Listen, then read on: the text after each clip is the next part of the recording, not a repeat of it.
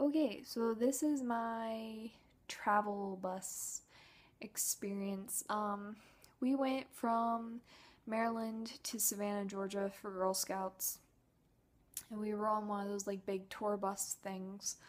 Um, I was fine for the most part, uh, but I don't like being in cars for a long period of time, and it kind of like sucked because there was a bathroom in the back of the bus, but it like smelled really badly.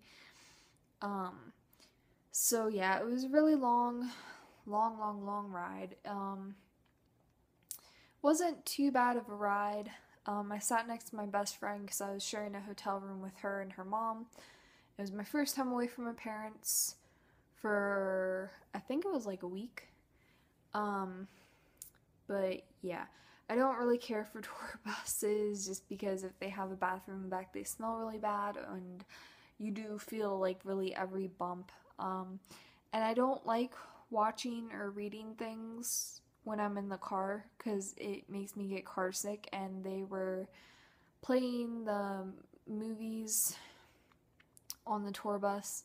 So I kind of got a little bit car sick. I, I don't puke when I get car sick. I just get like a really bad migraine. Um so yeah, and then throughout the trip we kind of were like on not like travel tour buses but other tour buses those I didn't really care for because they were open so you could like feel the air blowing on you and it was hot um and then on the way back, it wasn't so bad. Um, in the travel tour bus, it was just very crowded and um, hot, and it seems like the bus driver wanted to hit like every single pothole. uh, and of course, they were playing the movies on the way back and all that stuff, and just did not don't like being. I get car sick with that stuff, so. Um, and then another time was when I went to New York and we were taking a tour of New York City and it was like kind of like one of those double decker buses and you could sit on top and there wasn't any like roof or anything.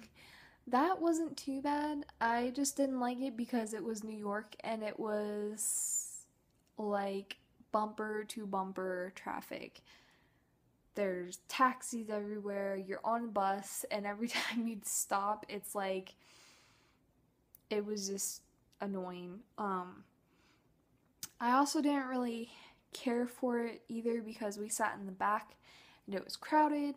Um and I kind of felt like I was to fall out of the bus and splat onto the ground. um so yeah, not I don't really care for buses, but I much rather take those than a plane. Bye, guys.